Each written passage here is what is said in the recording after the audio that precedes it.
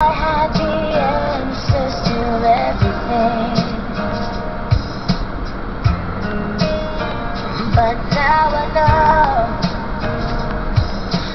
Life doesn't always go my way.